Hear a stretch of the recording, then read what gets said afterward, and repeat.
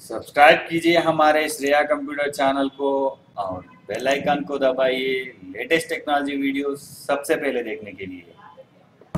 Hi friends my name Shyam and you are Shreya computer tech channel so friends today is the good news for Moto E4 users the brand new Android Oreo was released yesterday.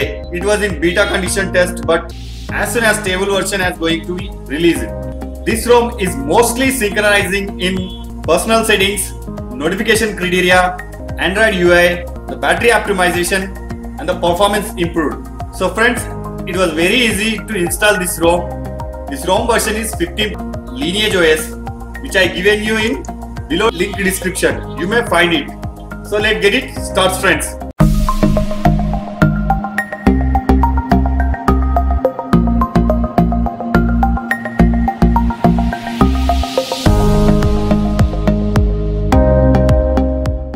So friends, before installing this custom ROM, I have to tell you something. First of all, we need to enable developer option in this device and afterwards you may unlock your bootloader and the final install TWRP. After successfully install TWRP, you may boot into TWRP recovery by pressing volume up and down and power. When it's booted into TWRP, then simply select wipe. We need to wipe our temporary data cache and previous customization ROM and previous settings. Click wipe. After it displays like this, select advanced wipe and this criteria select Dalvik art cache, system, data and cache. These are most important to wipe successfully. Slide this menu to right to wipe this successfully. It will take a little bit time. The data wiped successfully. Then we have to go back to install ROM. Click on back. It appears again home screen. Select install, select ROM and simply swipe right to install.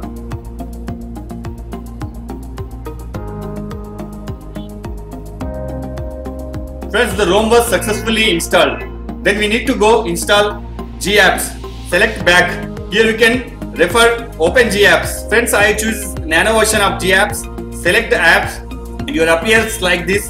Simply swipe right to install. Friends, there is different types of Google Apps available in the link description. I chosen the nano version of GApps which is low customization. You can choose as you wish.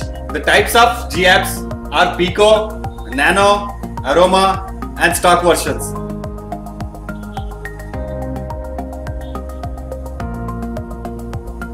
After successfully install GApps, we need to wipe our temporary data and cache. Select wipe cache and Dalvik and simply swipe right. After formatted the temporary data, click reboot your system. Friends, this is my home screen of Moto E4. We can find so much to change in settings. There is segregation done in settings just like related all settings has been made into one setting. Or before this, we can find only one list. But in this ROM, when we look up into network and settings, we'll find Wi-Fi, mobile data, usage and hotspots, something like. And we choose the connected device, will show Wi-Fi, USB, cast, like that. And we will see in the display, it will show wallpaper, sleep, font size like that. Friends, this is Android version of my mobile. Android version is 8. Point, and the model number Moto E4. The security patch level December 5th. So friends, hope you like this video. I will keep updating you in below description. So don't forget to subscribe my channel. Thank you friends. Bye bye.